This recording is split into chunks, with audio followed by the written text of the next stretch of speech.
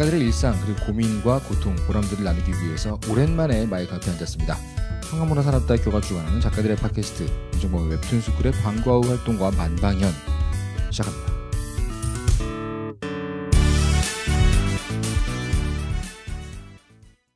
네 안녕하세요. 저는 웹툰 작가 이종범입니다. 네, 안녕하세요. 홍란지입니다. 소리가 좀 울리네요. 네. 그리고 엄청 뭔가 네. 울리면서도 또렷하지 않나요? 저희가 오늘 녹음을 되게 오랜만에 음. 하는데 네. 장소가 없었어요.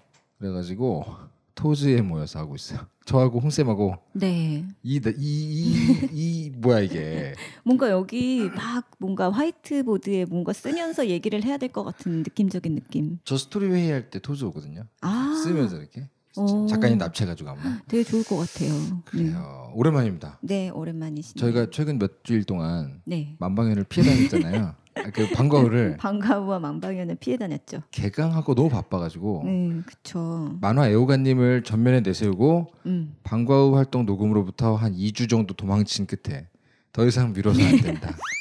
막다른 골목에 다다랐어요. 그래서 녹음 장비를 네. 다 챙겨가지고 광화문 한복판에서 녹음하고 있습니다. 어, 여기 되게 좋아요. 괜찮아요? 네, 좋은 것 같아요. 돈이 들지만 좋긴 좋네요. 어떻게 지내셨나요? 굉장히 잘 지냈고요. 저희 그동안 오랜만인데 뭐 없어요? 아, 저희 이제 수시 1차 접수 시작됐잖아요. 이래야죠. 네, 수시 1차 입시가 다가오고 있습니다. 네, 여러분 접수 시작한 거 여러분 아시죠? 근데 저희 만화 콘텐츠 스쿨에 네. 이번에 2019학년도에 어, 전공명이 바뀌고 추가가 되었어요. 뭐지요? 웹툰 만화 콘텐츠 전공 그리고 네. 웹소설 전공. 웹소설과가 만들어진다는 얘기는 예- 예전부터 했는데 네네네. 그런데 이번에 호응이 꽤 좋은 편인 것 같아요. 미묘한데요? 꽤 하고 좋은 편인 것 같습니다. 미묘한데 아니 이게 너무 잘난 척할까봐 내가 널 엄청 좋아하는 것 같아. 뭐, 뭐 어, 알지 네. 하지만 네가 너무 뭐 어떻길래요 반응이? 지금 보시면 네. 응? 저희 예 시작한 지 한 3, 4일 지났는데요. 어머나. 네 웹툰 음. 만화 콘텐츠 전공에서 약 90 몇 명을 뽑고 있는데 네네네. 어, 오늘 오전까지 639명이 접수를 하셨고요. 네. 네, 그리고 웹소설 천작 전공은 16분을 수시 1차에 뽑는데 네. 53명이 벌써요? 지원을 해 주셨어요. 며칠 됐나요? 3, 4일 지났습니다. 아, 여러분이 이걸 네. 들으실 때쯤은 또 며칠 지나 있겠지만 네, 어, 한 2주일 지났겠지만 저희는 지금 수시 입시 접수를 시작한 지 한 3, 4일 지난 때 아, 녹음을 시작하고 있거든요. 반응이 좋구나. 네, 그래서 저는 그래서 이렇게 좋은 이유가 뭘까라고 아이가 탐 이런 것. 네. 분석을 했을 때 역시나 우리가 그래도 힘들거나 말거나 네. 어쨌든 일주일에 한 번씩 팟캐스트를 올리자라는 이런 책임감과 의무와 아 기승전 신념을 기승전 갖고 자법. 예, 내 이종범의 덕이다. 웹툰 스쿨을 계속 홍보를 열심히 해서가 아닐까. 음. 물론 예. 우리 학생들이 엄청나게 수상도 했고 네, 뭐. 또과 내에서는 또 우리 동문들만을 위한 공모전도 했고 또 여러 가지 수상 실적도 있고 그런 것도? 있, 지만요 네. 출마하세요? 자신의 치적을 이렇게 열심히 여러분 일하는 겁니다. 어. 네. 그 청취자분들이 웹툰 작가 지망생, 웹소설 지망생, 음. 최근에 알게 된 건 추리 소설 등의 장르 문학 지망생이나 작가님들도 들으신다는 걸 알지만 입시라는 것이 꼭 모든 사람의 현재는 아니잖아요. 그럼요. 그럼에도 불구하고 한국에서 태어났으면 입시를 하건 음. 입시를 하지 않기로 결정했던 네. 한 번씩은 스쳐갔던 경험이 있는 이벤트잖아요. 그럼요. life work 이벤트라고 하죠. 네, 전 국민이 그렇습니다. 거의 다 겪는 이벤트라고 네. 하면 이제 어, 군대도 아니죠. 그건 절반밖에 맞아요. 겪고 네, 네. 입시 음. 그런 면에서 저희가 그꼭 청강대 팟캐스트라서 홍보를 한다는 의미 외에도 언제나 요 시기가 되면 내 주변에 누군가는 입시를 합니다. 그럼요. 내가 될 수도 있고요. 음, 친구, 지인, 친척, 형제, 가족 뭐 누가 됐건 그럼요. 아주 많은 사람들이 지금 이제 입시를 바라보고 있는데 웹 소설과 다시 한번 소개를 해드리고 반응이 좋다. 네, 반응이 좋은 편인 것 같습니다. 근데 아직은 여러분 문은 계속 열려 있습니다. 접수 기간도요 아직 많이 남아 있고요. 하지만 이 사람 왜 이렇게 변했지? 하루라도 빨리 접수는 하루라도 빨리. 아 왜냐하면 마지막에 몰리게 되어 있어요. 순수한 학자를 약장수로 만들었다. 내가 내가 잘못해서 내가 내가 내 탓이다. 그렇습니다. 네. 여러분 웹소설과 한번 관심 가져주시고 네.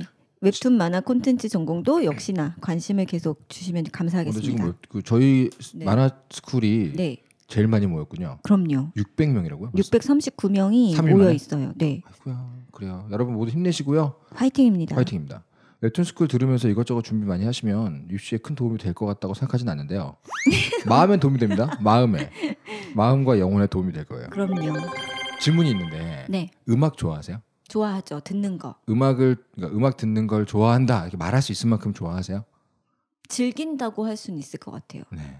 그러면 음. 어떤 식으로 음악을 소비하세요? 스트리밍 서비스로. 보통 이제 멜론이나 네, 멜론. 뭐 그런 것들, 네. 지니나 뭐 이것도 뭐 여러 가지 있는데 네, 멜론. 멜론 이렇게 딱 찍어서 네. 홍보도 아니고. 하여튼 그 스트리밍 서비스 이제 월 과금을 내고 아, 그쵸. 뭐 드- 월과금. 들을 만한 거 있으면 듣고 네, 주로 언제 틀어놓으세요? 저는 운전할 때요.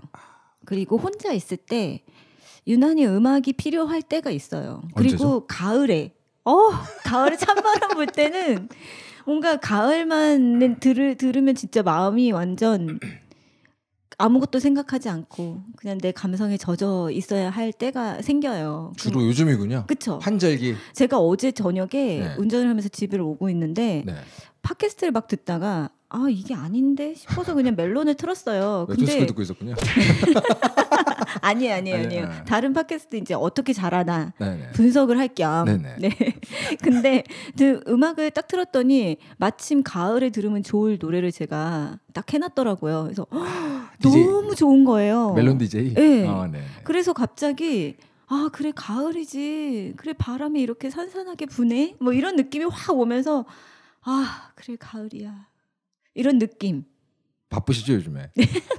일하랴 연구하랴 감성적이랴 이렇게 여러 가지 정체성을 왔다 갔다 하시는구나. 그렇네요 왜냐면 이제 음악을 제가 요즘에 한 가지 그 뭐랄까 재미있는 경험을 해가지고요. 네 어느 시점 이후에 제가 음악 진짜 좋아하잖아요. 네. 음악 어마어마하게 정말 좋아- 좋아하시죠 연주도 하시고 그랬으나 네 생각해 보니까 문득 어느 시점 이후에 음악을 듣는 시간보다 그냥 팟캐스트를 틀어놓는 시간이 훨씬 긴 아, 거예요. 역시나 또 분석하시려고 아니요, 재, 재밌어서 그랬는데 네 못하는 팟캐스트 들으면서 음. 자부심도 갖고 잘하는 거 들으면서 좀 이렇게 그쵸. 질투도 하고 음, 그랬는데 최근에 제가 다른 팟캐스트 진행 때문에 네. 어디를 갔어요. 음. 거기가 어디냐면 무슨 금융센터 같은 건물인데 오, 여의도인가요 아니에요. 광화문 근처. 아, 오. 광화문 아니 강남 근 삼성역 근처. 아 네 근데 되게 신기해요. 요즘에 트렌드라고는 하지만 거기 가면은 금융맨들이 이제 고객들을 맞이하기 위해서 음.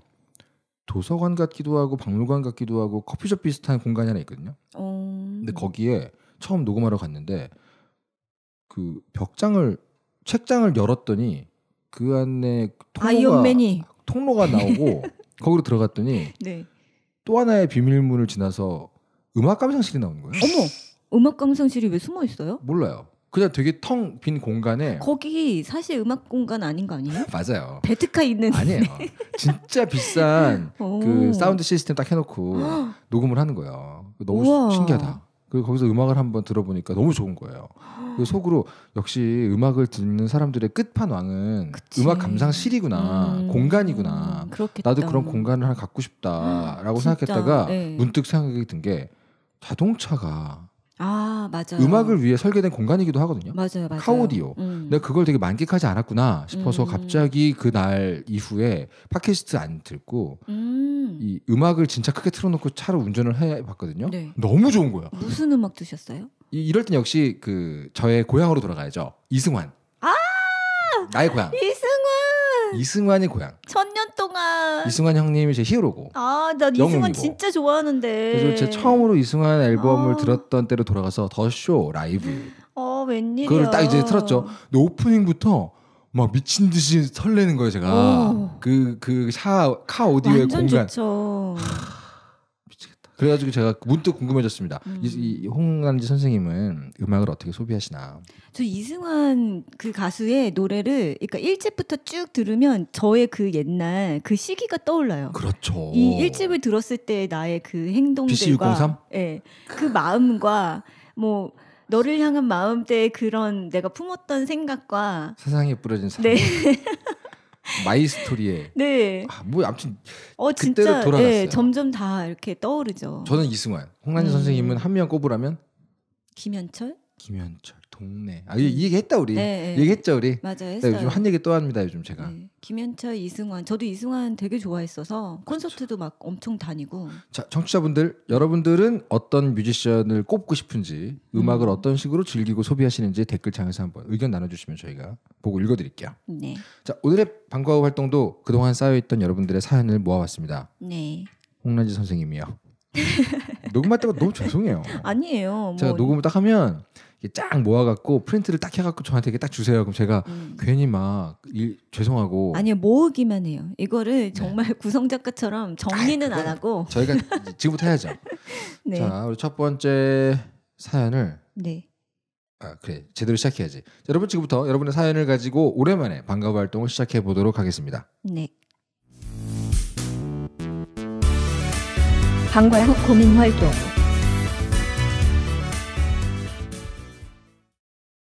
네, 첫 번째 사연은 팬텀님이시네요. 네. 읽어주십시오. 안녕하세요. 팬텀입니다.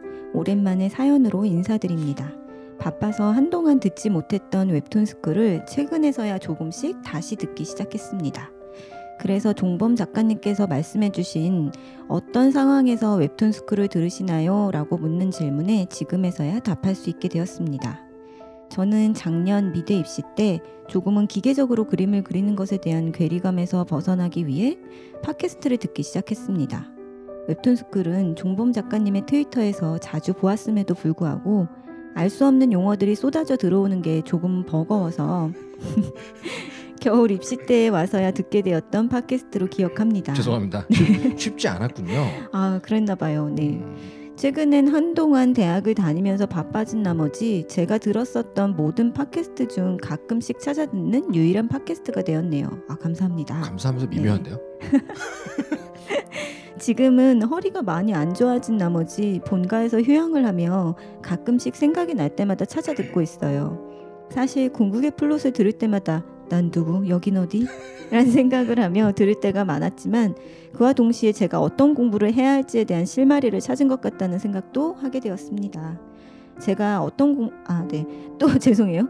또 롱터뷰에서 많은 작가님들의 생각과 삶을 들으면서 만약 직업으로 삼게 된다면의 질문에 많은 생각과 답을 내릴 수 있게 되었고 특히나 익숙했던 종범 작가님 편에서는 작가님의 더 많은 생각들에 대해서 알 수 있어서 좋았습니다. 뻔했죠 뭘.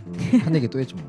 감사합니다. 네, 방과 후 활동은 언제나 기다리게 되는 꼭지인 것 같습니다. 진짜? 감사합니다. 난꽤 진짜 좋아하시는 것 같아요 방과후 방과- 활동을. 이게 보니까 음. 방과후 활동을 좋은 게 아니라 궁극의 플롯이 싫은 것 같아요. 아, 아 어려워서 어, 싫을 수 있겠다. 그런 거 네, 아닐까요? 그럴 수도 있겠네요. 쉬는 시간 같은 거지. 네.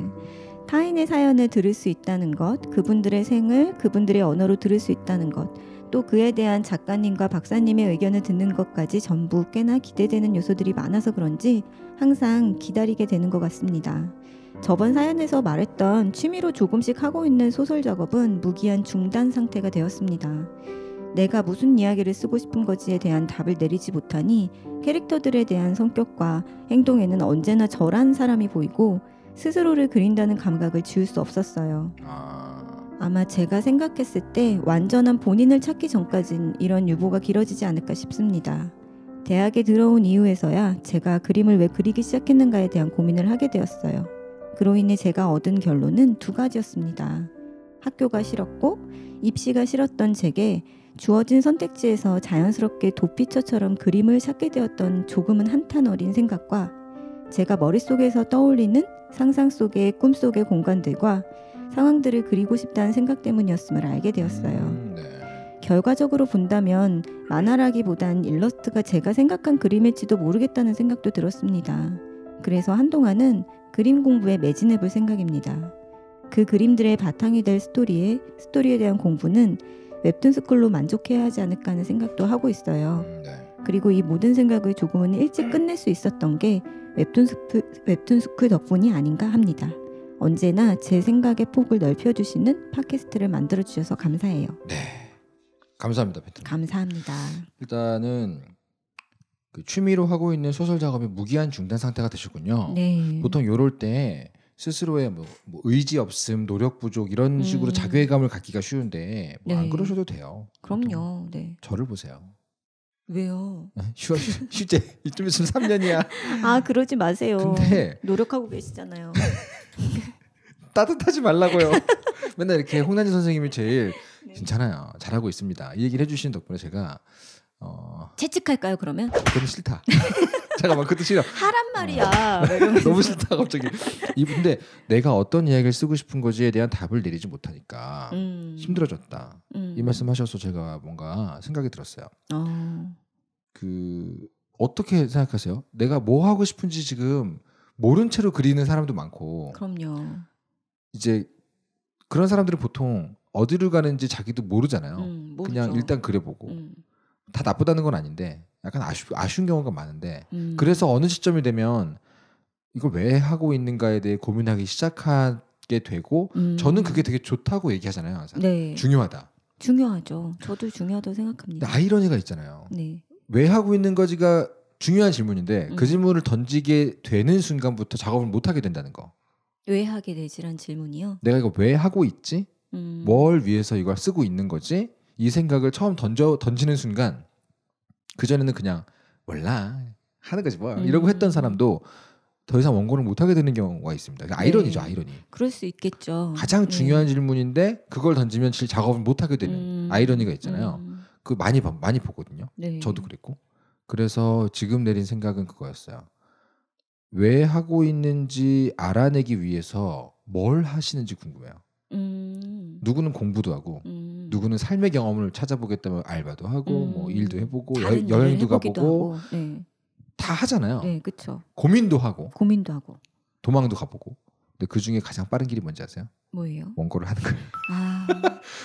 왜 하는지 알아보기 위해서 작업할 때도 있어요. 음. 팬텀님 맞아요. 무슨 말이냐면 음.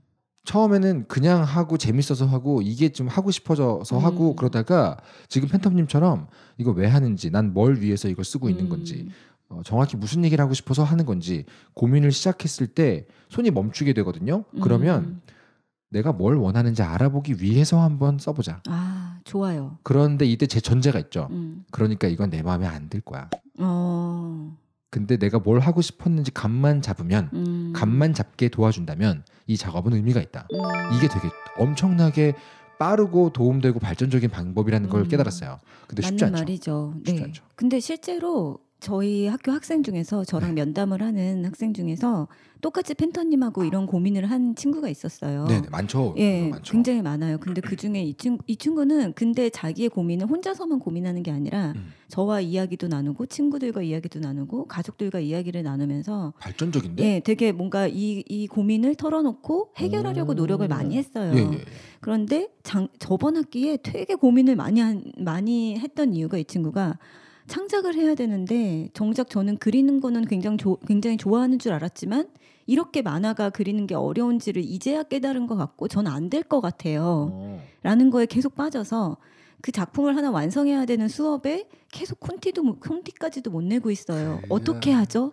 이제 마감이 2주 남았는데 미칠 것 같아요. 저, 익숙하다. 네, 저 이, 이제서라도 그냥 휴학할까요? 어딘가에서 본 것 같은 풍경. 네. 이게 들으시는 청취자분들 진짜 진짜 뭔가 자기 얘기 같죠. 그렇죠. 맞아요. 네. 근데요? 근데 이 친구가 계속해서 그냥 계속 저한테 이야기를 하러 그렇게 오면 그래도 조금만 더 해보면 어떨까. 음. 어, 내가 그렇다고 해서 이거를 그냥 멈춘다고 해서 더 발전적이 될 거라는 생각은 안 드는데 음. 너는 어떻게 생각하니? 뭐 이러면서 얘기를 계속 했었는데 어, 되게 잔인한 말을 따뜻하게 하셨네요.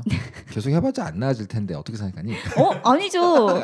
예, 그게 아니라 그, 지금에서야 그만두면 더 이상 발전적인 아. 생각은 없을 텐데. 그 얘기군요. 네, 여기서 멈추는 것보단 그래도 어떻게 해서든 끝을 내보는 방향으로 생각을 음, 네. 그러니까 너무 완성도를 있게 욕심껏 하는 게 아니라 무조건 완성이다라는 것에 목표를 두고 해보는 게 어떨까라면서 이야기를 많이 했었는데 결국에 이 친구가 이번에 또 2학기 때 휴학을 안 하고 복학을 아니 보- 그 계속 수업을. 들어서 어. 저랑 면담을 했는데 교수님 그때 저 포기하지 않고 결국에 만들었어요. 아 미담이네요. 네, 그래서 책으로 미담이다. 만들었어요. 근데 교수님뿐 아니라 그 과목의 교수님도 네가 힘든 건 이해한다. 어. 근데 여기서 멈추지 말고 네가 만약에 완성을 한다면 최소한 이건 알 수 있을 거다. 아, 이 길인지 아닌지. 맞아 그래 그래 음. 맞아. 그거에 대해서 만약에 확인해 보고 싶으면 완성을 해봐야지 그것을 해보지 않고서 그 생각에 마무리를 지을 수 없을 거야라고 말씀해 주셨대요. 그래 맞아. 근데 그 말을 듣는데 와 되게 좋으신 분한테 가르침을 받았다 이 친구가. 그러네. 네 그런 생각이 들었고 본인도 완성을 해보고 나니까 아 그래 나는 이런 결과물 그러니까 내 마음에 쏙 들지는 않지만 결과물이 주는 즐거움을 알아차렸고 어. 내가 원한 건 이거였다는 것을 이거였구나라는 것을 깨닫게 되었대요. 그러니까 네.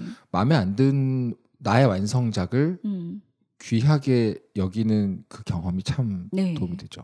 그럼요. 맞습니다. 근데 이거는 무조건 완성을 해봐야 된다는 거. 그럼요. 우리 웹툰 스쿨의 가훈 같은 거죠. 네. 뭐 거의 액자 어디 화 표구 해가지고 걸어놓고 싶어. 진짜 완성부터 하자. 뭐 이런 완성만 완성하고. 생각하자. 어, 아, 예, 그렇습니다, 여러분. 근데 그 우리가 보통 그거 못하는 이유가 명확해요. 잘해야 된다는 강박을 너무 아. 너무 우리나라가 많이 음, 줬어요. 그러니까 종이 한 장 차이로 다른 음. 메시지가 됩니다. 맞아요. 야 무조건 일단 해봐 이 음. 얘기가 아니고요. 음, 못해도 되니까 끝내 보면 저절로 답이 나온다. 뭐 이런 음, 식이거든요. 맞아요. 한번 팬텀님도 뭐 지금 당장 하라는 얘기는 아니고 네. 편하게 가셨으면 좋겠습니다. 음, 남승우님께서 보내셨네요. 네. 읽어주시죠. 저는 2014년 어느 산골짜기에 있는 대학교 만화창작과에 진학하게 되었습니다. 청강대인가요? 여긴가요? 저희 스키장이 우린가? 있다고 하는데 음, 주변에는 스키장이 하나 있고 맞네. 그 외에 정말 아무것도 학교였습니다. 우리 학교니 너 누구지?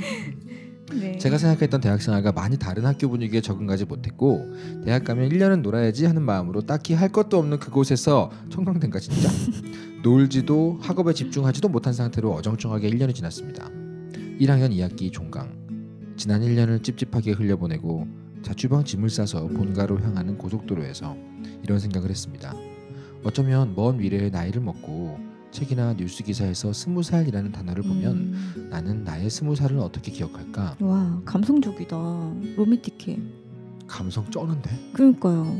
아마 많이 지워진 기억들 속에 희미한 추억이라는 조미료를 뿌려 아름답게 미화하고 흐뭇해하지 않을까 하는 제가 보였습니다. 음. 미래의 제 모습이 상상만으로도 너무 멍청해 보이고 싫었어요. 음. 미래의 나에게 아씨 당신 스무 살 진짜 쓰레기처럼 보냈어 라고 소리치고 싶었죠. 음. 그러다 문득 제가 좋아하는 간지작살 우유빛깔 투시왕 최호출 교수님이 하신 말 맞네 우리 학교였네. 맞네 맞았어 진짜로 농담이었는데 우리 학교 어, 간지작살 우유빛깔 투시왕 최호출 교수님이 해주신 말씀이 생각났습니다. 네. 과제 너무 열심히 하지 마. 개인 작업해야지. 라고 과제 3대장 최호출 교수님 발언. 그 다음 주 저는 휴학 신청을 했고 2년이라는 시간 개인 작업하는 시간을 가졌어요. 네. 하지만 열정 페이 외주와 미술학원 알바 등 개- 생활비를 벌어가며 개인 작업을 한다는 것이 쉽진 않았습니다. 네. 꾸역꾸역 단편 만화 한 개를 완성했을 때쯤 나라가 부르더라고요. 음. 안 오면 감옥에 보낸다고 하길래 갔습니다.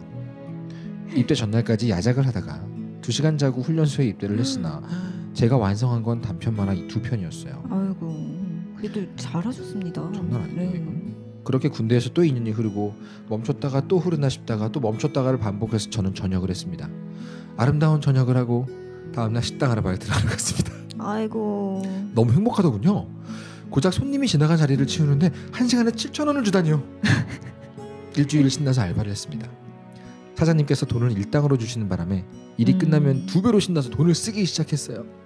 일을 하는 것도 신나고 쓰는 것도 신나고 깎아머리가 잘하는 것도 신나고 너무 신나서 만화를 그릴 필요가 없어졌습니다. 저런. 저녁 전날만 해도 내일부터 나는 슈퍼 만화가 스타 작가가 음. 될 상상을 하고 있었는데 네. 막상 저녁을 하고 보니까 내일은 뭐 하고 놀지 하는 생각만 하고 있더라고요. 음.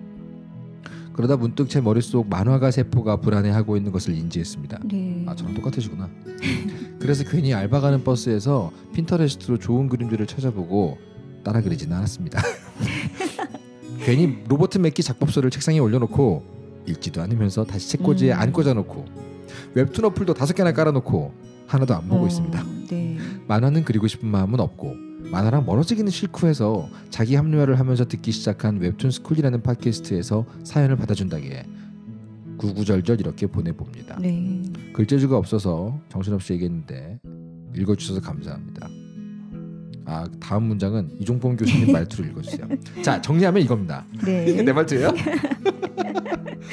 저녁 후 사소한 자유가 너무 만족스러운 하루. 음. 그래서 만화를 그리고 싶은 욕구가 없어진 지금 군 휴학까지 4년이란 시간 동안 제가 이뤄낸 거라고는 단편 만화 두 편입니다. 굳어버린 손과 만화에 대한 식은 애정, 음. 복학까지 남은 반년이란 시간 전 어떻게 보내야 할까요? 어떤 준비를 해야 등록금이 아깝지 않은 내년을 보낼 수 있을까요? 네. 그리고 이 상태가 쭉 이어진다면 내년에 복학을 하는 게 맞을까요? 음, 주의 이종곤 교수님 가장 좋은 선택은 자기가 결정한 선택이라고 말씀하지 말아주세요. 그 발언은 금지 써놨어. 홍란지 교수님, 이종곤 교수님 복학하면 실제로 만나보고 싶습니다. 2학년 수업하시나요? 어, 전 1학년 3학년 하고요. 저는 홍쌤은- 2학년 수업합니다. 네 오세요. 305로 오시면 저 있어요. 홍란지 교수님 그림은 어디 가면 볼 수 있나요? 네. 제 교수님 이름을 한번 쳐, 치시면 오. 나올지도. 야 검색하라고 말하는 패기. 아니 하지 마세요. 해보세요 검색. 자 남승우님 네. 일단은 저희 학교 학생이 맞았고요. 네, 그렇네요. 그리고 음. 뭐 지금 상황이 어떤 건지 대충 알겠어요. 네. 지금 이제 복학을 앞두고 네. 반년이 남았고요. 군대 갔다 온 사이에 열정도 동기도 사라졌다. 뭐 근데 만화를 놓고 싶진 않고. 음. 그러니까 지금 썸 타는 사이죠. 놓고 놓자니 아깝고 음. 가지긴 싫고 음. 나쁜 남자 스타일이네 지금. 어쩌면 갖고 싶을지도 모르지만 음. 가지려면 책임감과 해야 할 것들이 너무 많으니까 그러니까. 애써서 아니야 난 안 갖고 싶은 걸 거야라고 생각하는 어, 걸지도. 이분 지금 만화랑 사이가 안 좋네. 음. 내가 내가 겪었잖아요 그거. 그리고 본인 제가 보기엔 만화랑도 사이가 안 좋고 본인이 본인의 마음을 제대로 보지 않고 약간 비껴서 아마 그럴 걸이라고 생각하고 있는 것 같아요. 음, 만화랑 사이가 안 좋단 말을 오해해서 들으시면 좀 안 될 것 같아서 보충 설명을 하자면. 만화랑 사이가 안 좋은 시기도 필요해요. 음. 가끔. 더 잘하고 싶으니까 그쵸. 막 달려들고 열심히 하고 그럼 또 마음이 지치고 이것도 필요할 수도 있어요. 음. 꼭 나쁘다는 건 아니고 네, 그럼요. 모든 작가가 만화랑 이렇게 사이 좋은 형제 관계는 아닙니다. 그럼요. 권태기도 있는 거예요. 그럼요. 음. 근데 자기가 한 선택이 다 맞는 거예요. 라고 말하지 말라 그랬으니까 금지. 빼고 예. 제 생각은요. 군대 가기 전에 빡세게 그려가지고 단편 두 개 그렸다면서요. 음. 빡세게 그린 만큼 지칠 수도 있는 거고 약간 안 그리는 시기를 가진 지 얼마나 되는지 모르겠는데 군대 2년 빼고요. 군대 2년은 빼야지. 음, 빼야죠. 복학하고 지금 얼마 동안 만화를 안 그렸는데 음. 안 그렸는지 궁금해요. 한 두 달 안 그렸나? 3, 4개월 되지 3, 4개월? 않았을까요? 네. 어, 전 8년도 안 그려봤는데요. 뭐. 어. 아예 만화를 안 그린 지 7, 8년. 음. 그때 되게 중요했던 건 만화 내가 직업으로 꼭 해야 되나. 음. 맨날 만화가 한다고 얘기했던 게 아까워서 하는 건 아닌가. 아, 그런 고민을 하셨겠구나. 주변에서 만화가 한다고 다 알고 있는데 관두면 쪽팔리지 않을까. 어, 그래서 내가 이거를 붙잡고 있나라는 생각을 하셨어요. 그런 거. 어. 7, 8년 안 그리면서 그 생각 되게 많이 했어요. 음. 만화와의 관계 개선. 음. 어린 시절에 소꿉친구끼리 어, 당연하게 서로와 결혼한다고 믿었던 음. 상대방이 여기 서 있는데 음. 내가 정말 내 사랑하는 게 맞나? 음. 우리 너, 난 너에게 무슨 존재니? 뭐 이런 거 음. 7, 8년 했는데 음. 안 그리는 시기 좀 있어도 돼요. 뭐 어때? 그렇죠. 근데도 불안하다. 음. 그럼 저, 제가 저에게 내렸던 처방은 음. 원고를 해야 된다는 압박이 부담스러워서 안 하고 있었어요. 저는 그쵸. 너무 커요. 부담스럽죠. 그래서 음. 진짜 별거 아닌 걸로 쪼갰던 기억이 나요. 음. 예를 들면 하루에 뭐 크로키, 하나, 하나. 크로키 음. 하나 진짜 쉽거든요. 3, 음. 5초 음. 나중에 가면 아니면은 처음에는 그림 한 장 그리자였다가 그것도 안 하는 거예요. 제가 음. 보니까 내가 막 일러스트를 그리고 있더라고요. 어. 아 그래 이건 아니다. 음. 그냥 크로키 열 장으로 하자. 또 안 하는 거예요. 제가 음. 아 그래 이것도 아닌가 보다. 크로키 세 장으로 하자. 그때부터 좀 음. 하더라고요. 어. 진짜 별거 아니게 해서 아, 정말 잠깐 할 수 있게 만들어 놨더니 하더라고요. 어. 그래서 지금 너무 불안하시면 남승우님 뭐 쉬어도 좋고요. 진짜 작, 음. 작게 쪼갠 목표를 만들어도 좋고요. 네. 그리고 저것도 있어요. 제가 자기 합리화에 도움됐던 거. 음. 작업하기 싫은데 죄책감 느끼고 싶지 않아서 음. 자괴감 케어용으로 했던 합리화. 걸작들을 많이 봤어요. 어. 걸작들은 왜 걸작인지 아세요? 공부하려고 틀어도 어느새 까먹고 재밌게 봅니다. 음, 예를 그렇지. 들면 미드, 일드, 어, 맞아요. 영화, 만화 음. 재밌다고들 하는 것들 그냥 틀어놓고 음. 마음 머, 머릿속으로는 이것도 다 공부지. 마음속으로는 깔깔깔하고 재밌다 이러면서 그냥 음. 작품 하나씩 두 개씩 봤더니 도망가는 시간이 길어지는 만큼 본 작품은 늘더라고요. 음. 그 제가 그때 배웠던 거예요. 음. 아 도망도 나름 생산적으로 갈 수 있구나. 어. 열심히 도망을 다녀봤더니 뭐가 남네. 뭐 이런. 어, 그쵸. 스케치업하고 음. 걸작을 많이 봤던 거 두 가지는 제가 도망갈 때마다 했던 거거든요. 음. 머리 비우고 싶어서. 음. 추천드립니다. 네. 술 먹고 노는 것도 좋아요. 근데 그럼요. 네. 이쯤 되면 이제 듣다가 화내시겠다. 어쩌라는 거야. 아 저는 이분이 마지막에 반년이라는 시간을 어떻게 보내야 할까요? 라는 질문과 함께 복학을 하는 게 맞는 걸까요? 라는 질문을 하셨는데 어떻게 보내야 할지는 이종훈 교수님께서 다 말씀해 주신 것 같고 네네. 복학을 하시는 게 좋을 것 같아요. 왜냐하면 환경이라는 걸 무시 못하는 것 같아요. 음, 그러니까 우선 준비가 되어 있, 나는 준비가 덜 되어 있어라는 생각을 할지라도 네네. 그 환경에 우선 가보게 되면 모두 다 작업을 하고 있고 네. 내가 억지로라도 뭔가를 봐야 되고 수업을 들어야 되잖아요. 그렇죠. 그리고 주변에 다들 작업을 하고 있고 이러면 제가 보기에는 남승우님도 하지 않으실까요? 사실 시동을 걸 때 제일 도움되는 네. 것 중에 하나가 강제적인 환경 조성이잖아요. 네. 시동 걸 때만큼은 좋아요. 그 시동이 걸고 나면 이제 관성이 중요하지만 음, 처음에 걸 때는 다 하네. 뭐 이런 것도 도움 되죠. 그렇죠. 확실히 네. 학교라는 것이 그런 의미에서는 도움이 되죠. 그리고 그렇게 도움을 받으라고 저희 학교가 있어요. 일한다. 교수님. 그렇지 않습니까? 그렇죠. 네. 실제로 그 자동차에 시동을 걸 때 이 차 좋아하시는 분들이나 메카닉 좋아하시는 분들은 다 아실 텐데 네. 시동을 건다는 게 뭔지 아시죠? 그 연료를 겁나 고압으로 누른 다음에 음. 스파크 딱 튕겨가지고 폭발을 빵 시킨 거거든요. 어. 그래서 일단 처음에 폭발을 빵 시키면 음. 그 폭발력 때문에 확 돌잖아요. 네. 그 다음에 이제 관성으로 계속 돌아가는 거예요. 아. 계속 뻥빵빵빵빵 터뜨리는 거예요. 아 처음엔 무조건 폭발력이 있어야 되는구나. 처음에 이렇게 처음에 그러니까 그 시동을 건다라는 핵심은 뭐냐면 가둬놓는다. 아 무언가를 가둔다. 여러분 가두기에 제일 좋은 곳이 해월리의 청량대라는 거기다가 없어. 지금 뭘. 말씀하셨잖아요. 압력을 가한다. 그렇지. 최호철 교수님이 압력을 가하실 거예요. 과제로. 거기 그리고 네, 주변 자- 주변 친구들이 이제 스파크를 빵 튕기겠죠. 그쵸. 엄청 잘하고. 그럼 갑자기 막 관두고 아니면 계속하고 네. 그때 가면 알게 되겠죠. 음. 남승우님 그래요. 복학하면 보고 싶네요. 한번 네, 놀러 오세요. 그러니까요. 저희 보셔야죠. 복학하세요. 청취자분들 중에서 혹시나 이천시 뭐 해월리 아니면 음. 청강대 학생 뭐 이렇게 가까우신 분들이 유일하게 좋은 점이 있다면 진행자를 어떻게 생겼나 한번 볼 수 있다는 거 그럼요. 구경하러 오셔가지고 어떻게 생겼나 보러 왔습니다. 그럼 돼요. 자 그리고 이보은님, DDMME님이십니다. 좀뭐 더 얘기해 줘야 되나? 아 더 얘기해 주시겠어요? 반 반년이 남았을 때 뭘 하지? 반년 남았을 때 뭐 하죠? 저는 아까 진짜 하나만한 이야기처럼 네네. 들릴 수도 있지만 본인이 선택한 걸 하세요. 그러니까 놀고 싶으면 죄송해요. 말랬잖아. 금지인데. 아, 근데 아. 놀고 싶으시면 네네. 후회가 남지 않도록 놀아보시고요. 음흠. 돈을 벌시고 싶으면 후회가 남지 않게 돈을 버시고요. 후회가 남지 않게가 네. 중요하군요. 이게 여기에서 남승우님은 약간 목표가 지금 흐려지거나 아니면 없어진 상태라서 본인이 내가 왜 이걸 하고 하고 싶은 걸 하고 있는데 왜 죄책감이 들지라는 생각을 하시는 것 같아서 음, 네네. 그게 아니면 죄책감 좀 느낌은 어때? 내가 이 시기가 아니면 또 언제 놀겠어? 음, 음, 음. 이, 이런 시기가 또 내 생에 오겠어? 차라리 이런 생각으로 노시면 그치. 죄책감은 없이 그냥 마음껏 놀고 그리고 내년에 딱 몰입을 하- 해서 나 놀 만큼 놀았어요 하면서 집중할 수 있지 않으실까요? 나 같으면 반년 잡아놓고 논다. 그러니까요. 반년 논다. 음. 저 군대 가기 전에 한 학기, 군대 제, 제대하고 한 학기, 음. 이게 양쪽 두 학기를 휴학을 했는데 두 번 다 여행 갔거든요. 어. 돈 없이 그냥 갔다 왔어요. 음, 그러니까요.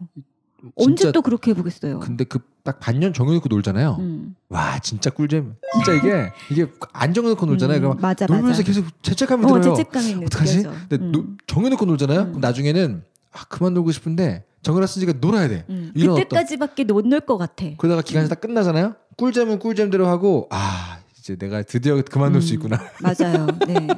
역시 기한을 정해놓고 노는 게 네. 최고. 그렇습니다. 이보은님께서 보내신 사연을 읽어주세요. 네. 안녕하세요. 웹툰 스쿨을 사랑하는 작은 웹툰 작가 지망생입니다. 작으시구나. 전에 새벽 감성을 억누르지 못하고 고민을 써서 보냈었습니다. 아이코, 평소와 다름없이 그림을 그리며 웹툰 스쿨을 듣는데 뭔가 익숙한 느낌과 읽기 버거워하시는 익숙한 닉네, 닉네임이 들렸습니다. 너무 감사하고 엉망인 글을 정리까지 해서 읽어주셔서 영광이었어요. 오늘은 그냥 이야기하고 싶어서 써보는 중이에요. 이야기 1입니다. 이분 거 기억나세요, 근데? 기억이. 나는 것 같아요. DDMM이님. 네. 여기 끝에 여기 동글이라고 써 있는 게 혹시 그거 아, 맞죠? 네, 네, 네, 그렇네요. 어, 기억납니다. 아이고.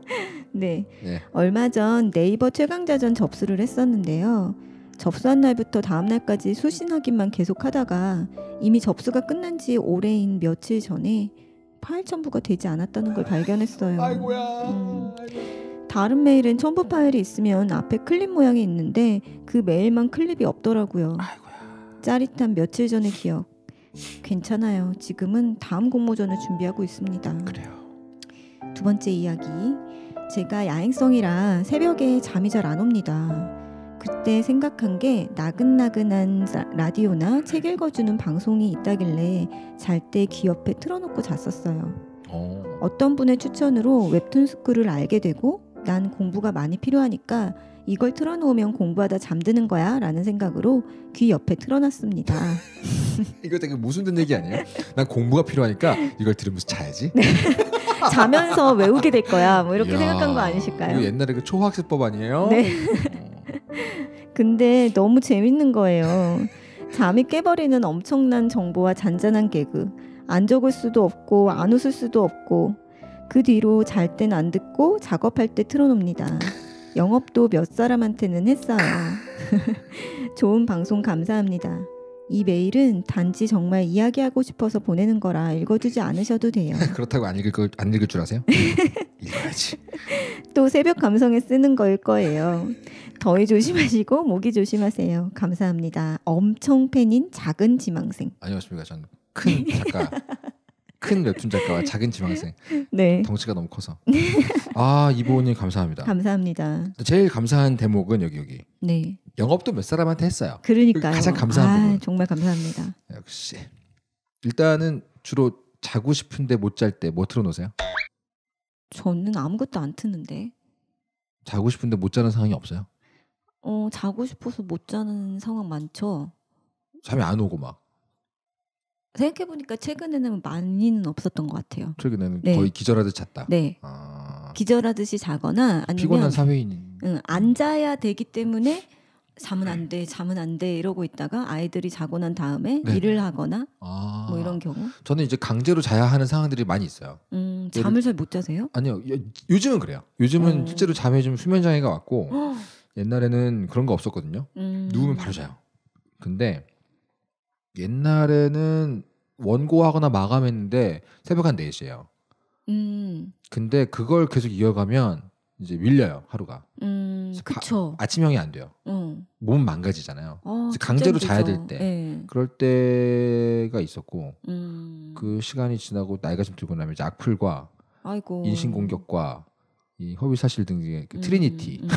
거기에 당하면서 수면 장애가 좀 왔었고 요즘은. 요즘은 음. 작업해야 되니까 못 자는 경우가 많은데 음. 잠을 자야 되는데 잠이 안 온다. 이때 제가 주로 틀어놓는 팟캐스트는요.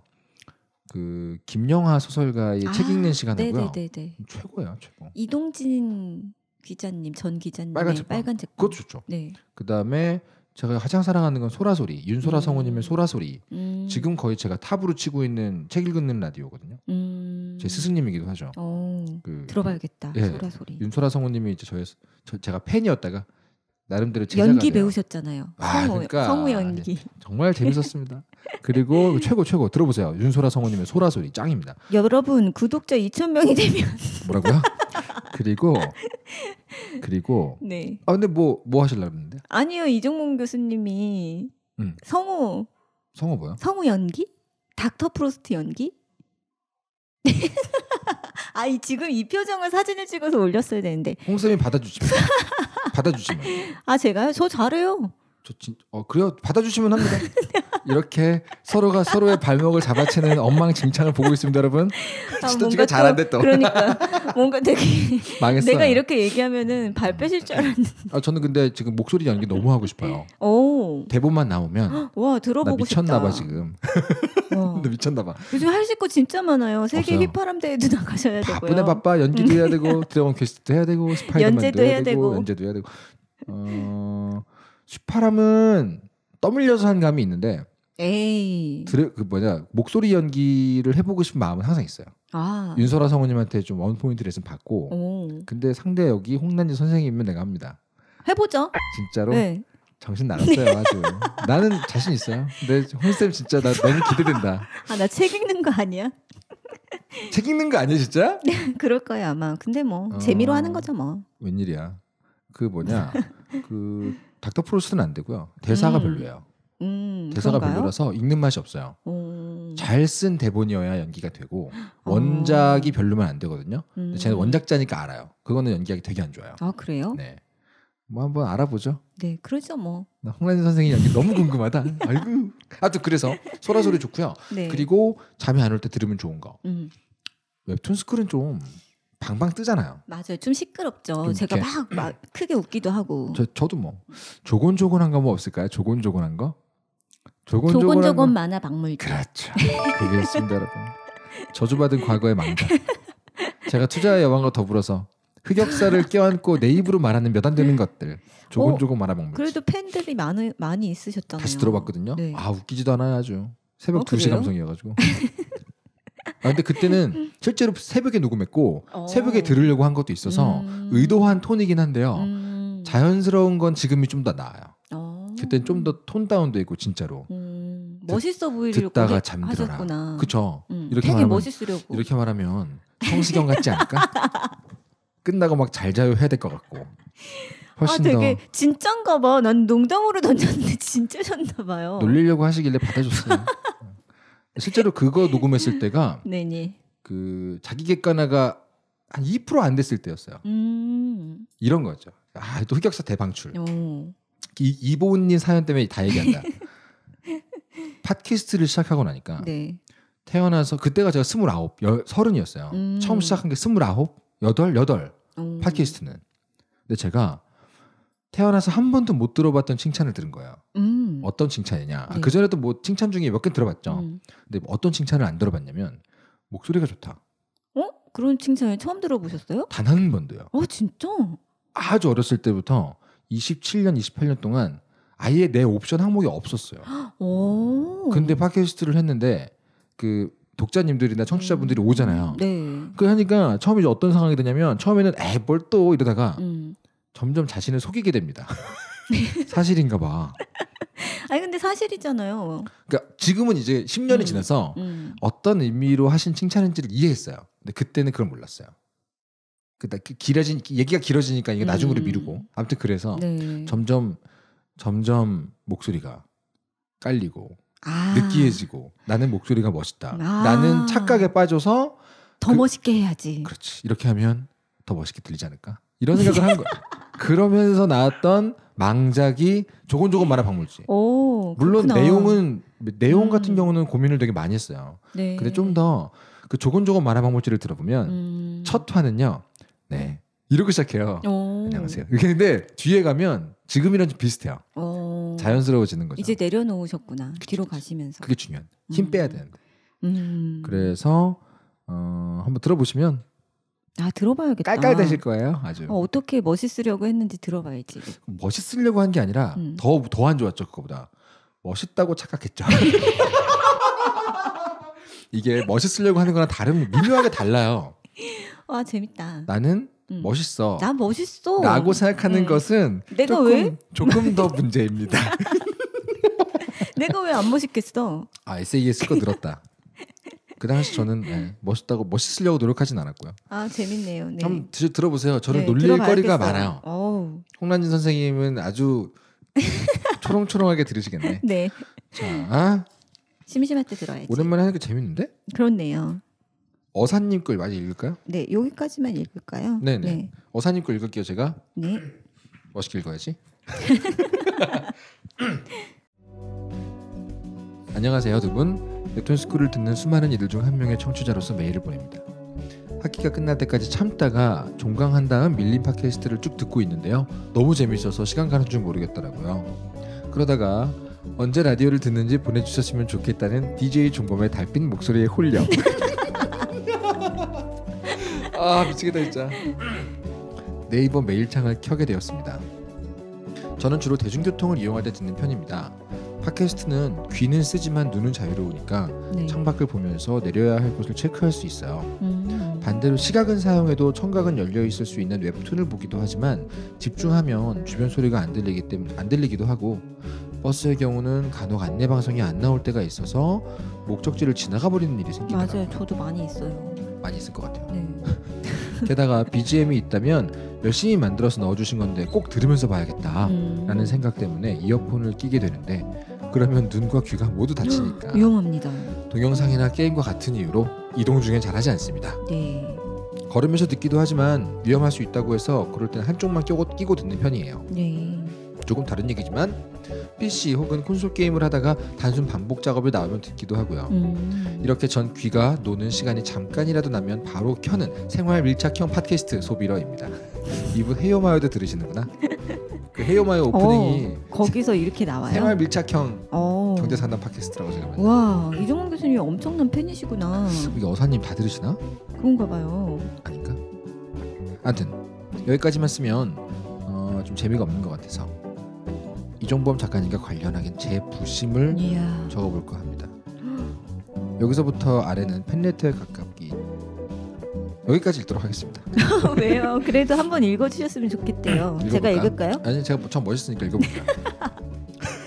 타 팟캐스트를 언급하게 되겠지만 읽어보겠습니다. 이렇게 귀로 듣는 천- 컨텐츠를 처음 접한 지 8년이 넘었는데요. 어, 네. 당시 중학생이었던 제가 군대를 갔던 음. 복학생이 된 지금까지도 아무 아하. 팟캐스트나 듣지는 않았습니다. 이야 감사합니다. 거기 저희가 속해 있어요. 처음 듣기 시작한 어, 것들이 쇼킹 보이스나 무지개 팀 분들의 웹툰 원작의 라디오 드라마들과 음. 부모 라디오여서 그런가 웹툰과 관련된 팟캐스트만 찾아다니게 되더라고요. 네. 당시에는 MP3 파일을 동영상에서 추출하거나 포딕스에서 받아다가 전자사전에 넣어가지고 틈틈이 들었는데 와 부지런하시다. 어, 그 때문에 해당 동영상이나 음성 파일이 올라오는 커뮤니티가 많이 활성화되어 있었고 보통은 그것이 다음이나 네이버 카페였죠. 네. 아직도 그때가 생각납니다. 수험생이라서 카페 활동을 활발히 하던 시기는 아니지만 매주 보는 만화를 그린 작가들의 생각을 알게 되는 것이 좋았어요. 네. 저처럼 만화가 분들의 목소리를 듣는 걸 즐기는 사람들이 좋았습니다. 카페 멤버분들이랑 밤새 가면서 채팅창에서 수다를 떨고 웹툰에 대해서 얘기하는 게 좋았습니다. 네. 아 이분 부모 라디오 초창기 멤버라서 음. 12년도에 시카프와 비코프 연달아서 공개 방송을 했었는데 양쪽 모두 고3이라 주변 눈치가 보여 가지 못했습니다. 음. 그렇게 아, 나도 나도 내적 하품을 봤어야 됐는데 음. 하며 후회하던 해가 넘어가고 아, 참고로 말씀드리면 내적 하품이라는 것은 당시 2012년 13년도에 공개 방송 때 박재수 작가님이 네. 하품이 났는데 참다가 하품 나는 거 참으면 어떤 표정 되는지 아시죠? 이상한 표정이 되죠. 이상한 표정이 됩니다. 일단 코가 커 코, 가 커지고 인중이 길어지고 그 사진을 누가 딱 찍은 거예요. 어떻게? 그 제목을 내적 하품이라고 쓴 거죠. 유명한 사진이었어요. 네. 아무튼 그렇게 후회하던 해가 넘어가고 공개 방송을 한 번 더 하신다는 글을 보며 설레며 찾아갔던 것이 처음 이종범 작가님의 실물을 봤던 날이었습니다. 이야 좋으셨겠다. 실망하셨겠네. 2013년 2월 14일 발렌타인데이. 그 다음 말이 뭔지 아세요? bye bye love. bye bye love. 어, 이렇게 되게 즐거워하신다. 이런 개그에 반응하시는 분이셨어요? 그러니까 저에 대해 하- 환상을 갖고 있다가 아, 처음 궁금해서 가보고 bye bye love라고 쓰신 거잖아요. 아 그런 거였구나. 너무 재밌다 진짜. 엄청 긴데? 다 읽어야 돼요 이거? 그러니까 되게 길어요. 참 네. 길다. 읽을게요. 뭐 들으시는 분들 귀찮 좀 재미없으시겠다. 아직도 기억나네요. 아 이거 진짜 옛날 얘기다.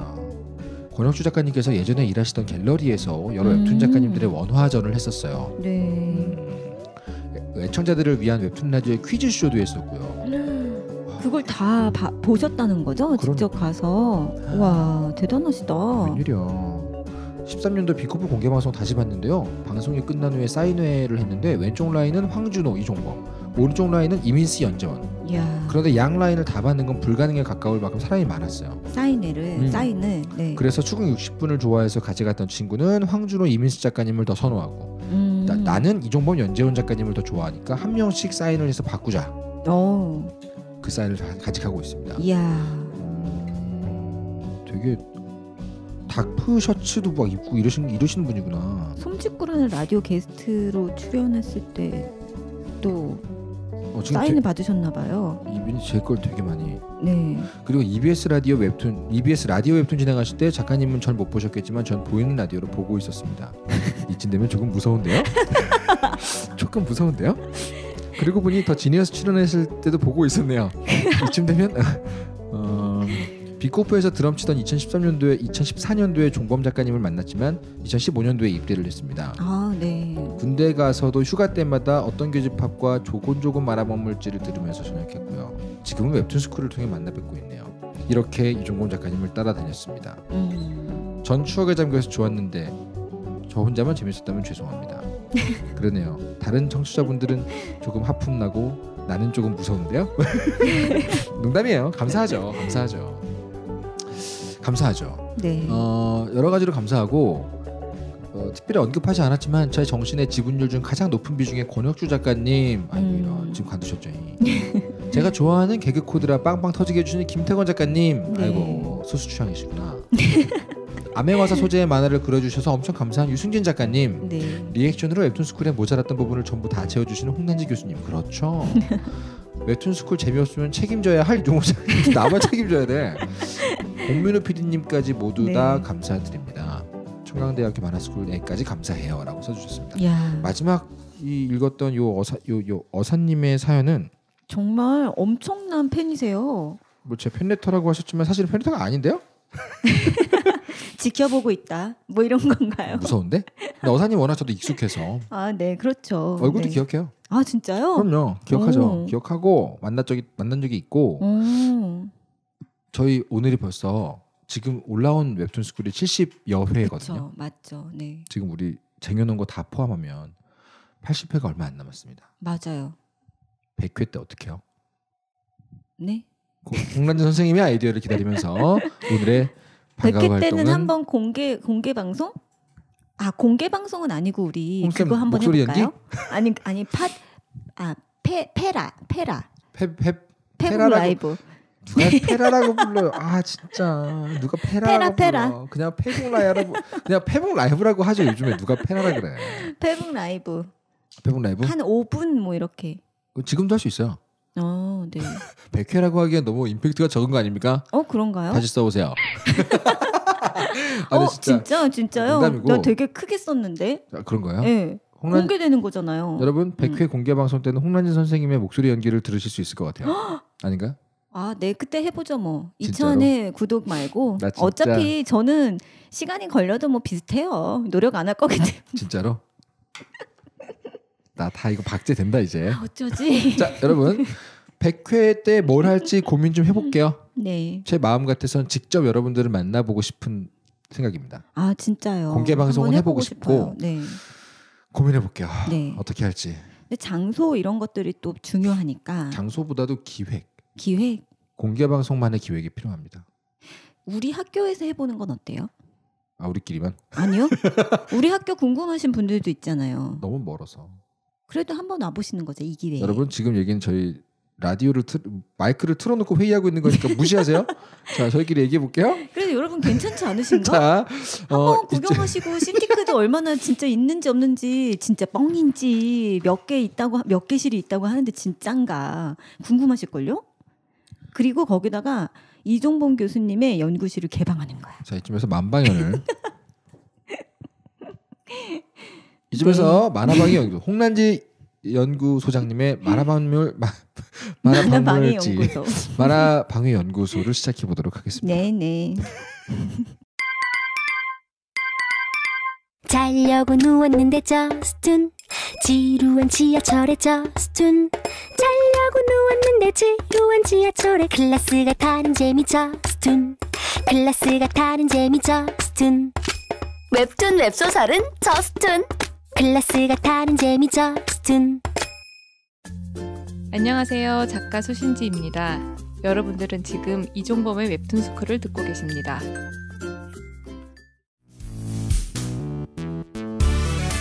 홍 박사의 만화방위 연구소 만화방위 연구소 홍란지 소장님 오셨습니다. 네 안녕하십니까. 방금 제가 녹음 사이에 네. 연기를 한번 들어봤거든요. 여러분 잘해, 아니요. 안 잘해. 잘해.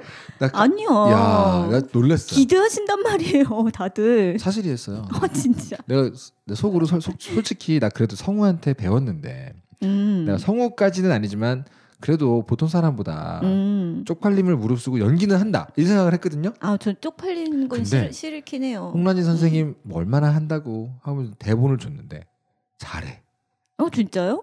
아니, 이분 내 안 하실까봐 이러시는 것 아니, 같은데. 아니. 기대하기 시작했어요. 저. 자 오늘의 만화방 연구소는 어떤 얘기입니까? 네, 오늘은 다리 위 차차라는 작품을 얘기해 볼까 합니다. 오늘은 약간 가벼운 감상이랄까요? 걸작이죠. 네, 윤필 작가님과 재수 작가님께서 함께하신 다리 위 차차. 둘 다 내가 너무 좋아하는 작가님이네요. 네, 재수. 작가는 친구고 네. 윤필 형은 형이고 음, 너무 좋아요. 네. 이 다리 위 차차는 어, 차차라고 하는 인공지능 로봇이 어느 날 자상을, 자살을 하러 오는 어, 한강 다리 그 위에서 음. 자살을 하려고 하는 사람들한테 말을 걸어주는 그런 인공지능 프로그래밍화된 그런 로봇이었어요. 그, 그 처음 도입된 것 자체가 네, 그 지자체나 그쵸. 정부 정책 같은 걸로 도입된 거잖아요. 네, 맞아요. 네. 그래서 많은 사람들에게 말을 걸기도 하고 음. 어, 자살을 막아보려고 노력을 하지만 프로그래밍화 된 대로 하려고 하지만 많은 사람들은 본인을 계속 무시하고 음흠. 들어주지 않고 네. 정작 목표로 했던 것들을 하지 못하는 걸 보면서 정작 나는 왜 있어야 하지? 음. 그래서 이게 별로 효과가 없는다는 걸 알고 국가에서도 폐기해야 되겠구나. 이제 거의 잊혀진 아. 네. 존재가 돼버린 한 인공지능 로봇에 관한 이야기예요. 그 한강 다리에 네, 그 사랑의 전화 음, 이런 거가 이런 전화 같은 거 네, 사람들이 되게 막 세금 써서 만들었는데 효과도 없다. 그쵸. 이런 욕을 하는 경우가 있잖아요. 네, 그런 발상인 것 같아요. 네, 근데 그리고- 본인이 지능이 인공지능이니까 본인이 음. 알아. 나는 의미가 없어졌나? 내 목적은 이거였는데. 그러니까 음. 와가지고 사람들이 막 써놓고 가자 낙서하고 가잖아요. 맞아요. 세금도 좀 넣어 막 이러면서 음, 차차 음, 불쌍해요. 어여쁜데. 네. 아무튼 근데 저는 이 차차가 여러 가지 옴니버스 내용으로 이루어지고 있는데 그 내용들 중에서 어, 구하의 내용인 마그나 카르타 라고 네 하는 챕터의 이야기를 해볼까 해요. 대헌장이군요. 네. 그래서 이 다리 차차에서 아까 그 차차가 굉장히 여러 사, 여러 부류의 사람을 만나면서 상처를 입기도 하고 또 어느 순간에는 도움을 받기도 하고 여러 가지 경험을 하게 되는데 그러면서 본인이 겪은 여러 어, 변- 겪었다고 얘기하는 게 맞을까요? 예? 본인이 공감하게 되는 여러 부류의 로봇들, 인공지능 로봇들을 체험을 하게 될 수 있는 기회를 얻게 되는데 연결돼 버리죠. 네네. 그때 그 사람은 어떤 일이 있었고, 아, 네네. 그 로봇은 어떤 일이 있었고, 그, 그 로봇은 어떤 식의 감, 감성을 가지고 있었을까. 아. 그리고 그럼 나는 앞으로 폐기될 수밖에 없는 인공지능인데 내가 앞으로 할 일은 전혀 없는 걸까? 나는 원래 이 목적으로 만들어졌는데 그럼 그 목적을 이루지 못했을 때 나는 그냥 폐기되어야 마땅한 존재인가? 음. 이런 고민에서 조금씩 성장하게 되는 그런 이야기를 담고 있는데 그 중에 하나가 마그나 카르타라는 내용에 또 나와 있습니다. 그래서 그 그, 설정상 음, 지금 다리 위에 머물러 있어야 되는 네, 자살 방지용 봉사 로봇이 네, 공간적으로 지금 다리 위에 묶여 있는데 그쵸. 어떤 계기로 인해서 음, 자기와 비슷한 인공지능 로봇들 전, 세, 전 세계 전국에 있는 로봇들과 연결이 돼요. 소위 말하는 그 와이파이 연결 같은 게 음, 돼버리는 맞아요. 거죠. 네, 그, 그 체험을 하는 네, 아, 진짜 작가적이다. 네. 멋져요. 예.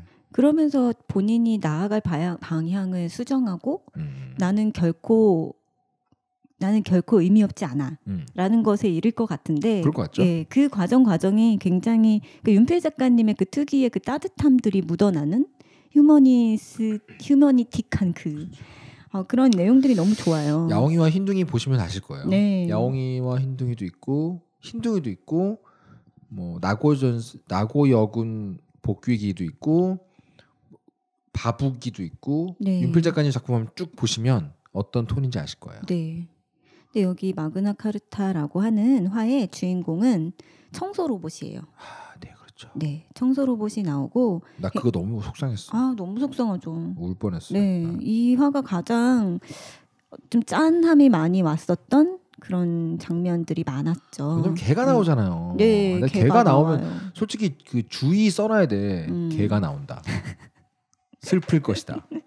그쵸. 게다가 누군가 인간이라고 하는 존재에게 네. 그 뭔가 모든 것을 맡겨버린 존재 둘이잖아요. 그러니까 로봇도 그렇고 그 반려견도 그렇고 그치. 인간이라는 존재가 이들을 어떻게 취급하는가, 어떻게 음. 대하는가 네네네. 이런 것들이 꼭 관련된 내용이 나오기 때문에 슬플 수밖에 없는. 반칙이에요. 네, 맞아요. 반려견. 혹은 반려묘를 이용해서 에피소드 쓰는 거는 그냥 뭐 울어라. 음, 맞아요. 반칙이야 반칙. 네. 근데 그런 뻔한 내용을 가지고 네. 어떻게 이야기를 전개를 이렇게 아- 아름답게 할 수 있을까? 어, 굉장히 그리고 또 우리한테 아, 어, 미래에 만약에 진짜 이런 세계가 닥쳐온다면 우리는 어떻게 판단해야 될까라는 음. 고민까지 하게 해주는 그런 내용이에요. 이 저, 다리 위 차차라는 이 책 전체가 그런 내용을 담고 있고요. 네네. 근데 이 청소년 로봇이 어, 굉장히 노후됐어요. 옛날 구식. 네, 그래서 얼마 지나지 않아서 폐기해야 돼라는 것을 늘 듣고 사는 로봇입니다. 네. 그래서 우리는 제가 내 말을 못 알아듣겠지라고 하면서 상처 주는 말을 너무나 많이 하는데, 근데 알게 모르게 청소용 로봇은 그 말들을 다 듣고 있고 나의 시- 기한이 얼마 남지 않았다는 것도 알고 있어요. 네. 그러던 어느 날, 곧 폐기가 되겠지 뭐 이러면서. 네, 그러던 어느 날 강아지 한 마리를 만나게 되는데 굉장히 날카로워요. 자꾸 자기만 보면 짖고. 유기견인데 음, 유기 생활 동안 거친골을 많이 나가면 음. 일단 공격성을 보이는 게 생존에 도움이 되니까 네. 보통 짖어요. 음. 근데 그 짖기 때문에 사람들이 더 못 살게 굴고 이 아. 악순환에 빠지는 경우가 많죠. 아이고, 네. 네. 안타깝네요. 그런 그 유기견을 한 마리 보게 되면서 주인이 없다는 것을 확신하게 돼서 가- 다가가게 되는데 어, 계속 짖고 어, 다가오지 못하게 하니까 어떻게 하면 친해질 수 있을까를 스스로 학습을 해서 이 청소용 로봇이 유기견과 한, 한 발자국씩 가까워지게 됩니다. 음, 음. 또이 마그나 카르타가 여러 개 챕터로 되, 되어 있는데 그 이후로 넘어가면서 이거 얘기해도 되나 스포일링? 어느 정도까지만 잘 이렇게 갈무리해서 네, 믿습니다. 네, 그 요약하면 그거잖아요. 네. 곧 폐기될 처지에 있는 구식 소- 청소 로봇과 음, 사람들에게 버려진 지 버려진. 오래된 것 같은 유기견 네. 이둘 사이의 이야기인데 둘 사이의 이야기인데 심지어 또 아, 그 청소 로봇과 유기견이래 얼마나 반칙이야. 음. 근데 심지어 중간에 청소 로봇이요 어떤 일을 겪어가지고 쩔룩거려요 또. 아 나 미치겠네 진짜. 그리고 청소용 로봇이 청소를 하다 보니까 우리도 청소하다 보면 돈을 음. 주게 되는 경우가 있어요. 동전 그쵸? 버려진 100원짜리 거. 많이 버려지잖아요. 10원짜리 네. 이런 거. 근데 이런 것들을 어떻게 해야 될지 몰라서 뭐 주인들한테 갖다 주면 뭐 아이 뭐 이걸 어떻게 하라고 뭐 이러니까 본인이 계속 모아두고 있는데 그렇죠. 그것을 결국에는 쓰임새가 쓰일 곳을 찾아내게 되죠. 아, 나 청소 로봇이 100원짜리 동전 모아놓은 거 쓸 때아 울, 진짜 울었어. 완전 감동적이었어. 아 진짜 반칙이잖아. 그리고 나서 그 일을 행한 다음에 비로소 청소용 로봇과 버려진 유기견에 대한 사연이 알려지게 돼요. 그쵸. 그 미담으로. 네네. 그리고 나서 갑자기 유기견의 주인 나타나. 아 졸라 짜증나 진짜 이게. 그 개는 사실 내 개였다. 진짜 저런 주인은 진짜. 네. 그러면 이 이후에 과연 어떻게 될까요? 뻔하잖아요. 그러니까. 사람들은 인정에 치우쳐서 뭐 아무리 그래도 네가 버렸잖니. 어. 어, 그러니까 저 강아지의 소유권은 어, 청소용 로봇에게 있다. 어. 라는 식의 내용과 아니다. 어떻게 로봇에게 소유권이 있냐. 아직 우리는 그런 시대에 살고 있지 않다. 음. 라고 하는 논리적인 그런 이성적으로 대립하는 세력들이 나타나는데 네. 결국에는 이 청소용 로봇이 또 마음이 너무 아프게 그 유기견이 외로워 보이는 것을 보고 내가 이렇게 싸움을 지속하면 얘는 더 외로워지겠지 하고 본인의 권리를 포기하게 됩니다. 그쵸. 어, 나 여기서 너무 아, 슬펐어요. 지금 여기 보- 같이 보면서 보- 얘기하고 있는데 아 이건 그냥 우르라고 만드는 음. 에피소드인데 아 갑자기 그 윤필 작가님과 재수 작가의 필력이 아 마지막 컷또 어, 끝내주네 또 아 나 미치겠네. 진짜 이거는 가을에 울어야 해. 어. 지금 이렇게. 감성 충만한 홍현희 선생님에게는 아주 그쵸. 적시타였다. 네. 그래서 결국에 이 일로 해서 사람들이 음, 로봇에게 과연 소유권, 계약권, 거래권이 없다는 게 음. 말이 되냐? 지금까지 우리가 인공지능 로봇과 얼마나 오랫동안 살아왔고 로봇이 어떤 식의 행동을 하는지 우리는 이제 거의 감지할 수 있지 않냐? 그렇죠. 그럼 우리와 비슷한 개체라고 인정을 해야 되지 않겠냐라는 생각을 하게 만들어 만든 계기가 됐어요. 네. 그래서 이 청소용 로봇의 그런 미담과 사연으로 인해서 결국에 이 다리 위 차차라고 하는 이 세계관에서 로봇도 인간과 거의 동등한 수준의 계약권, 소유권, 거래권이 로봇에게 보장되게 되는 음. 그런 계기가 다가왔고 네. 그렇게 해서 차차도 어떤 식의 계기로 어, 어떻게 성장하게 될지에 대한 큰 구심점이 네. 되는 사건이 되죠. 다리 위 차차의 여러 에피소드를 쭉 보다 보면 네, 그 이야기라는 것이 우리에게 줄 수 있는 가장 멋진 체험이 네, 이런 거구나 그쵸. 하는 느낌을 갖게 됩니다. 네. 그러니까 그 어, 그게 별개 그러니까 별개라고 얘기하면 좀 그렇지만 좀 사람들이 네. 죄송합니다. 아닙니다. 네, 근데 사람들의 감정을 움직이는 일이요. 네. 굉장히 새롭거나 특별한 어떤 사건이나 그런 강렬한 어떤 임팩트가 있는 일보다는 생각보다는 되게 우리가 그냥 쉽게 말해서 그냥 음. 뻔한 이야기, 네. 그냥 흔히 있었던 이야기들, 알고 있는 이야기들 이런 데서 오히려 사람들이 감성이 폭발되는 경우가 더 많은 것 같아요. 저 요즘 그거 고민해요. 네, 그 방금 말씀하신 거 되게 공감 가거든요. 네, 당연한 얘기, 익숙한 얘기, 음, 일반적인 얘기가 음, 감동을 줄수 있다. 네, 그 그게 한, 한 종이 한 장 차로 클리셰가 될 수도 있고 그쵸. 뻔함이 될 수도 있는데 음. 종이 한 장 차로 well-made 신파가 될 수도 있고 음, 그 차이를 가르는 게 뭐라고 생각하세요?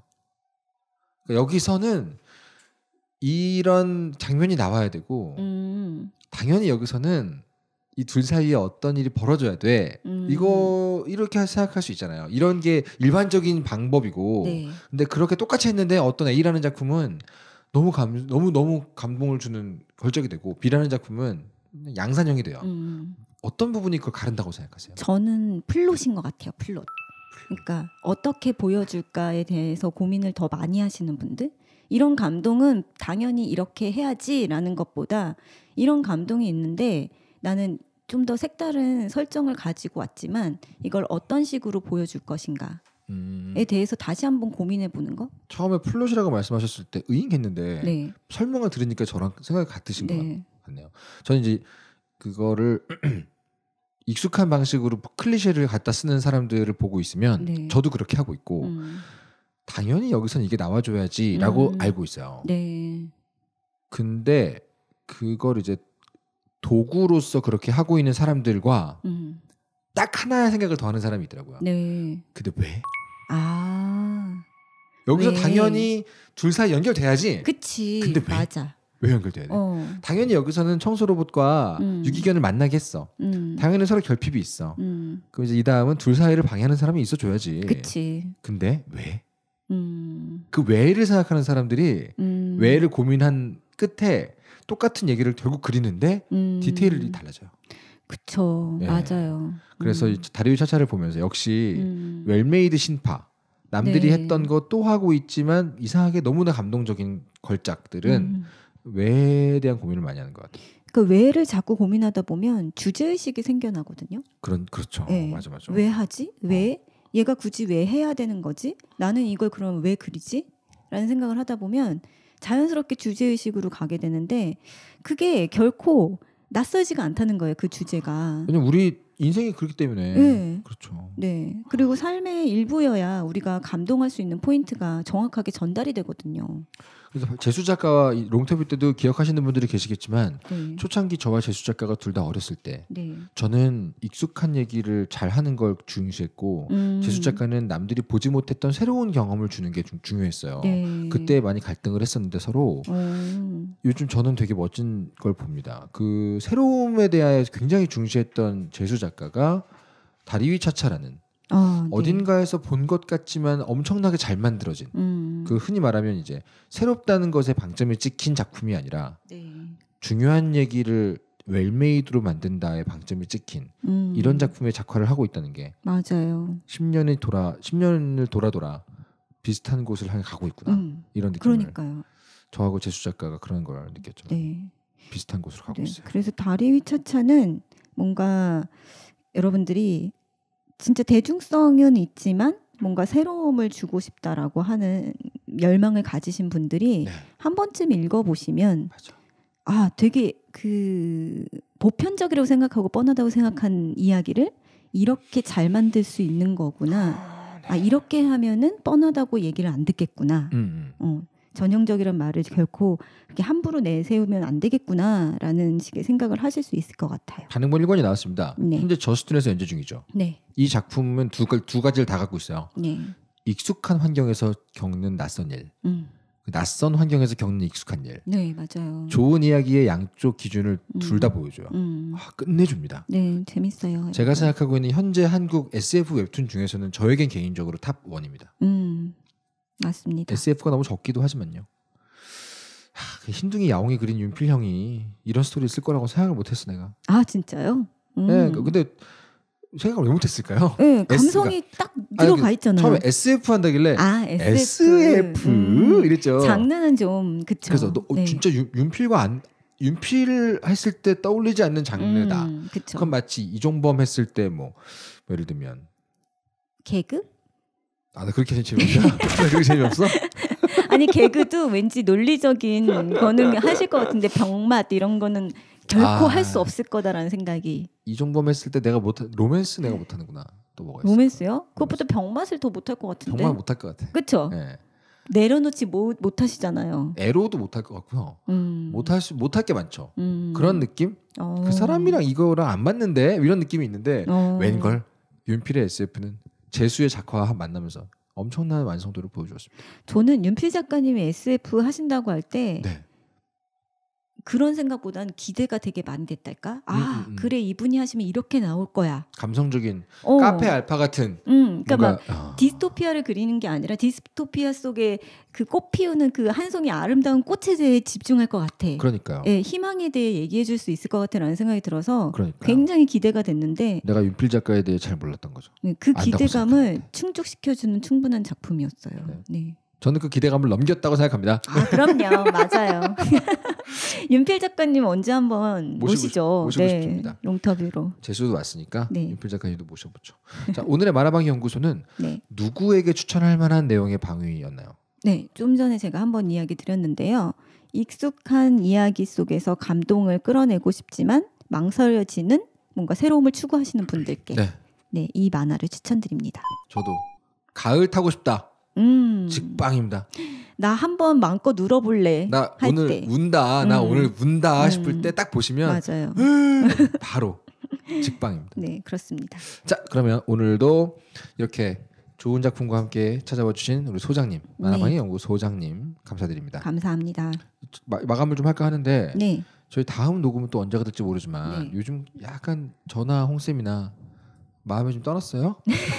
마음이 약간 살짝 떴나요? 여러분 저희 마음이 안 떠나게 사랑을 좀 주고 네. 댓글도 좀. 댓글은 사실 많이 주고 계신데 아 그래요? 네. 저희가 문제인가요? 그런 것 같아요. 왜 그런지는 잘 모르겠지만 권태인가? 권태기인가? 그래요. 저번에 호회처럼 그냥 막 마이크 들고 혼자 네. 떠들 시간이 있으면 좀 해주세요, 음. 홍 쌤. 저요? 아, 저는 재미가 없잖아요. 오디오 드라마 같은 거. 아 그런 거 되게 재밌겠다. 목소리 연기. 음. 혼자서 막 나중에 폐기해야지. 소라 소라 소리 들어보시면 네. 그 혼자서 하는 목소리 연기의 완성형은 이런 것 딱 알수 어, 있습니다. 들어봐야겠다. 끝내줍니다. 음. 자, 그러면 여러분 이쯤에서 저희 인사를 드릴게요. 네. 청강문화대학교가 주최하는 작가들의 팟캐스트 이종범 웹툰 스쿨의 방과후 활동과 만방연 오랜만에 광화문 한복판에서 녹음을 했습니다. 저는 만화가 이종범이었고요. 저는 홍련지였습니다. 감사합니다. 감사합니다.